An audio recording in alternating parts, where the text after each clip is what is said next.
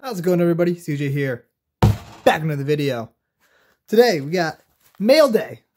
We got a whole lot of mail for mail day today. Got a lot of cards coming in. This is there's more coming in, so we'll have more for next mail day. But we got a good amount stockpiled up for this one, so we're just gonna start ripping some envelopes. Hopefully there's not anything that says my name in it. If there's ever a black box across the screen, it's because something said my name, like something just did. So hopefully, hopefully that wasn't on camera. I'm going to be, oh, that says my name right there. All right, I'm going to be, it says my name on both sides of this. There's going to be a black box whenever it says my name. Then it'll go away once it's gone. But, first off, we got Winter Orb. This is going in that Jorn deck that I'm going to build because you can untap your stuff with Jorn, but your opponents can't untap theirs. So, uh, if you guys enjoyed the mail day videos, remember, comment down below what you're buying. Let me know. And, yeah, subscribe to the channel if you haven't already. Check us out on Patreon if you want to support the channel. We also got a Kickstarter going on still. Get these playmats in the Kickstarter. Come on, do it. And let's continue. Stasis, also for that Jorn deck. Gotta get that stacksy stuff, that good, good stax. Jorn is going to be a sweet stax commander with a lot of upside. We got Bontu the Glorified.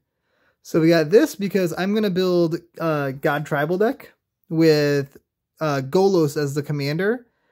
And that way I can play Golos and go and get the World Tree, which lets you pay like Progenitus mana to go and fetch all the gods out of your deck. So that's something else I'm doing. So there's probably going to be a lot of gods in this pile. I had to buy all the ones I didn't have. And I'm going to need to buy some new ones too. Oh, it says my name.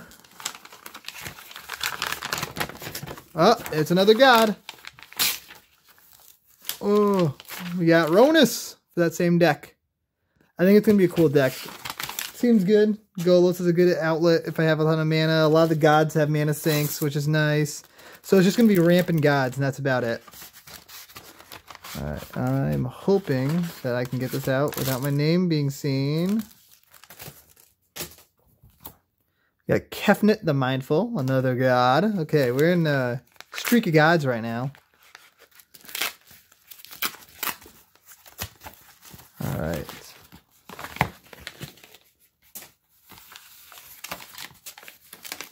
I'm just trying to open these as carefully as possible so I don't need to do those black boxes. We got Hellkite Courser, and this is a thicker envelope, so let's see what else is in here. I also picked up a good amount of Commander Legends singles that I needed for cubes or deck, for my cube or for decks, because I think they're at pretty close to a low right now. So I figured it was a good time. You got Hellkite Courser, some Keeper of the Accords, and a Sphinx of the Second Sun. So let's see. I've got a list of what I got all these stuff for. So this Hellkite Courser is going in Obeka. We got these Keeper of the Accords for the Cube, for Marchesa, um, Elesh Norn and Feather, and it's thanks the Second Sun is going in uh, either Cube, Unesh, or Sisay, or Riku, or Kalamax. Or Jorn, honestly. It's just a good card. I got... I, there should be more of those coming in, I think. Alright, here we got Scorpion God for gods.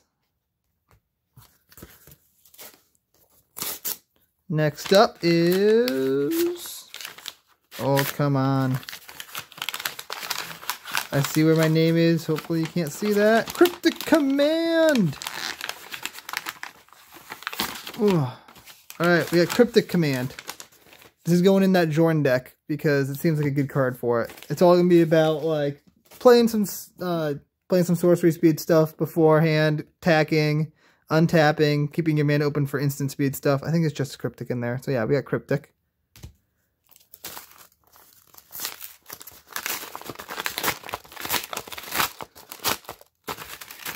This time, We've got... Oh, paper. Oketra the True. Another god.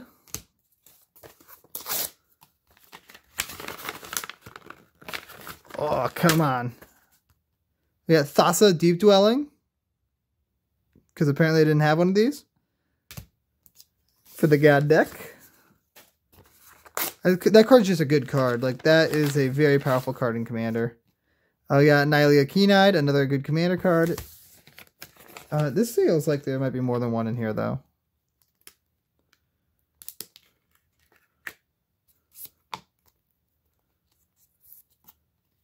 Uh, got Eternal Kefnet and got Eternal Oketra as well. Okay, so yeah, there's definitely some more gods in there.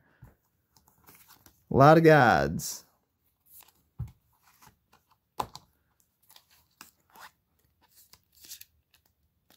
I'm going to have a lot to do with these cards after this, making cuts and putting them in decks. We got a Hull Breacher. So I've got a few Hull Breachers now. This one's probably going inside of, um, I don't know one of the decks. Just figured it needed another Hull Breacher. Probably Xyris if I didn't put one in there already. Got Eternal Bond too. I don't think this is gonna uh this could be okay inside the deck. It could be okay.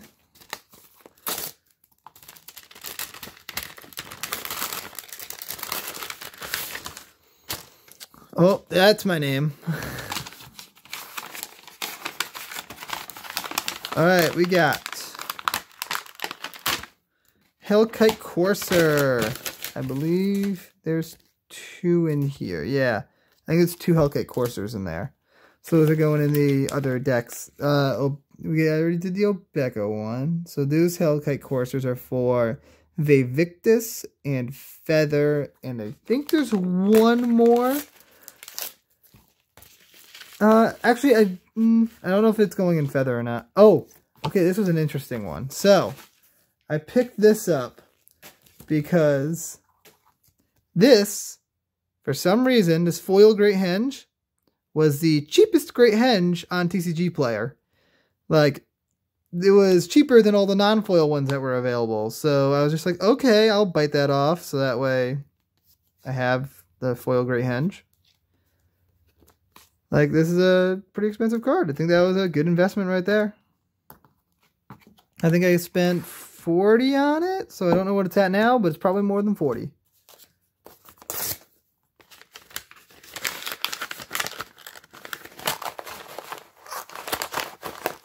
Oh, there we go. We got Opposition Agent. This is going in the cube. That's a cube card right there. Oh, this one's a difficult one to open.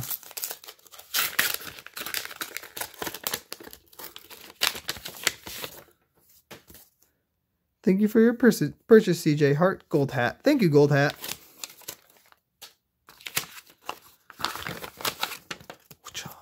Purphoros, bronze blooded.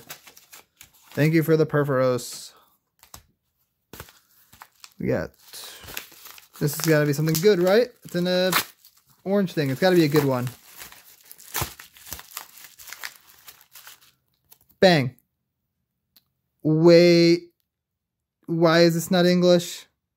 I totally bought this in English. Oh, I gotta take a look at the receipt.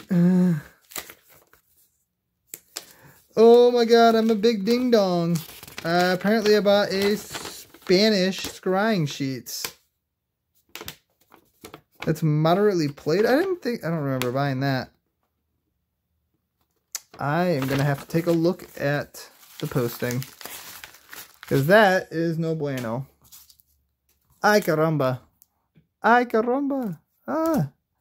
That's going in Jorn. I'll probably just deal with it because it's more, uh, more expensive now. Okay, so this is wrapped up interestingly. And unfortunately, I don't have any knives next to me. Uh, do I? Wait, wait, nope, I don't. Where's my knife? Oh, it's all the way over there. Okay, I almost got this. We're getting there. We're getting there, guys. Don't worry. Oh my god, tape, get off my finger.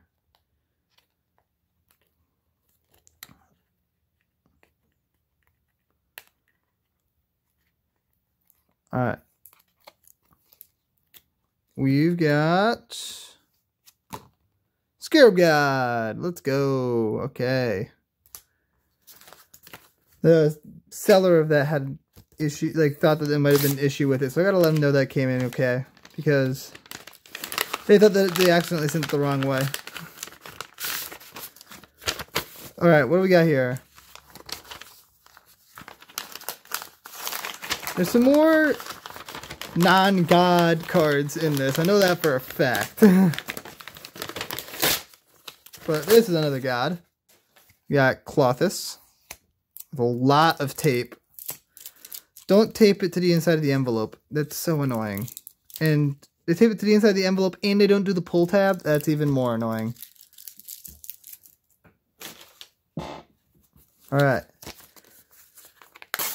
I know there's at least one really sweet card somewhere in here. We got, ooh, Sakashima of a Thousand Faces. So, Sakashima we got four. uh, the cube. That's for the cube. I should have remembered that. That's going to be fun in the cube. And, oh, there are the other Sphinx of the Second Suns. Thank you, Frost Giant Games. Sphinx of the Second Suns, I already said what those are for. Um, Unesh, Sisay, Kalamax, Cube. Some variation of those.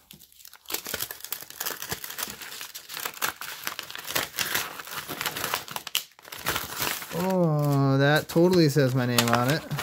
Okay. You got Vedalken Orrery. Yeah, this bad boy is going inside Jorn. Seems like a fun card. Also, if you're buying cards, it may cost a couple dollars extra, but it's always worth it to buy the original printing. Because those tend to stay the most expensive. Got the Locust God.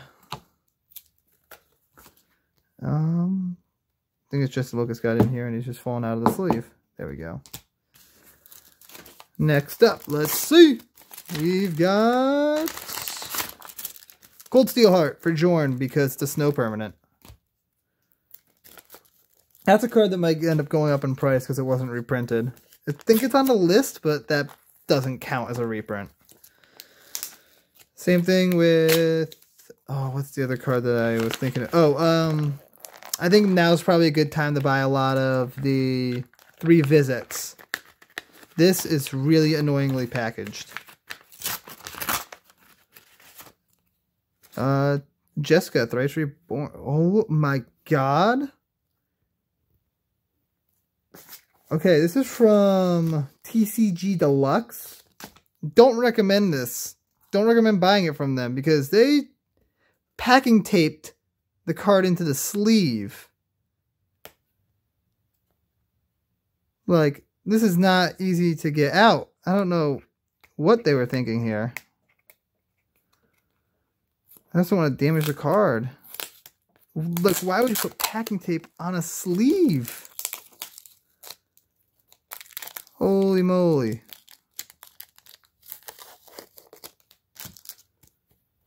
Alright, we almost got her out. Let's see if she's damaged or not. It's also not in a top loader, so this is just like horrendously shipped.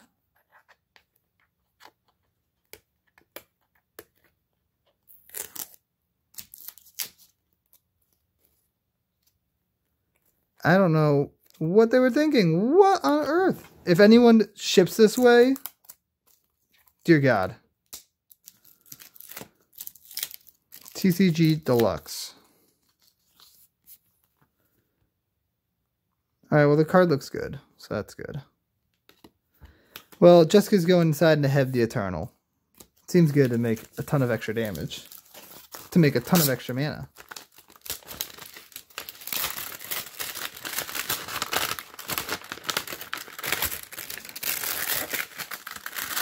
So I'm pulling it off screen just to try to prevent my name from being flashed.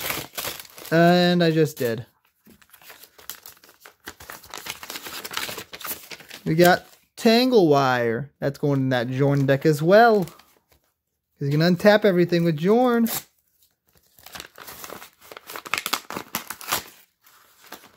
Um, Rime Feather Owl. This is going in Jorn. This is a really cool card, I think, for Jorn.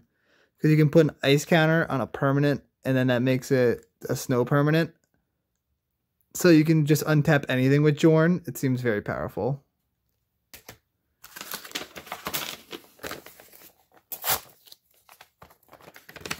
All right.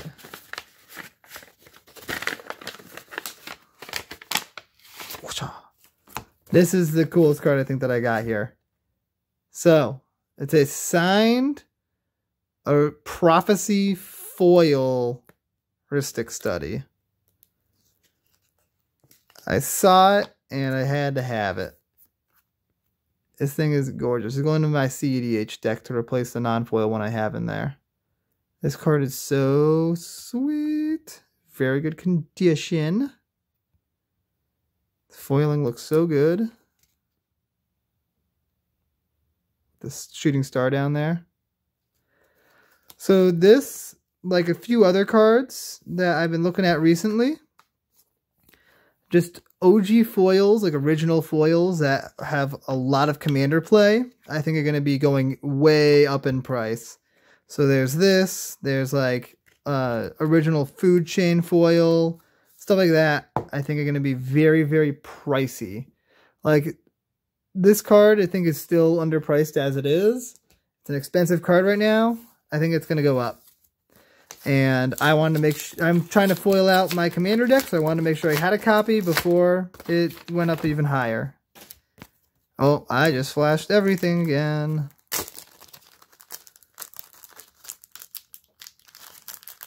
Oh, this...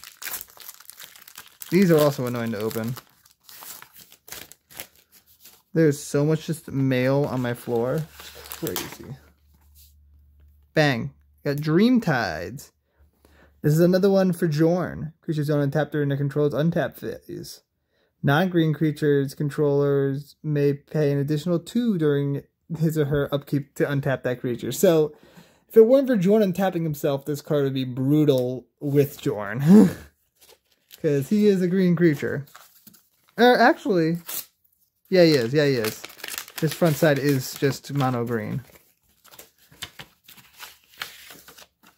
We got Heliod, Suncrowned, another god. And last but not least, we've got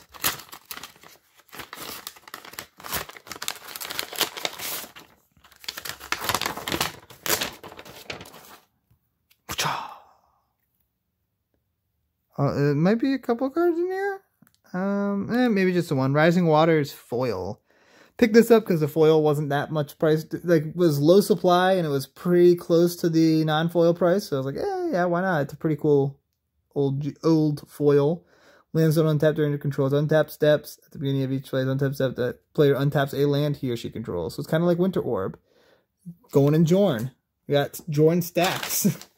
People are going to hate it and I'm going to love it. So, this is what we got. If you guys enjoyed this mail day, let me know in the comment section down below. If you want to see some more mail day stuff, let me know down below. It's annoying to kind of just not be able to open all my mail at once, but it makes for, I think, cool content. Kind of a little financial stuff along with just like what I'm doing, what I'm building. And yeah. Remember, subscribe to the channel if you haven't already. If you want to support the channel, you can check us out on Patreon. If you want to buy any of the cards that I bought, I got all these from TCG Player. If you want to do the same thing, you can buy them through the TCG Player affiliate link down below. If you do that, it helps support the channel. You can also support the channel via Patreon. And you get to join us in games and stuff like that. Join us in Discord. It's a good time. It's a good time. So do that. Stupid. I can't read, apparently. I can't read. Now I have to read Spanish. Um, But yeah. We'll see you guys next time. Peace out, everybody.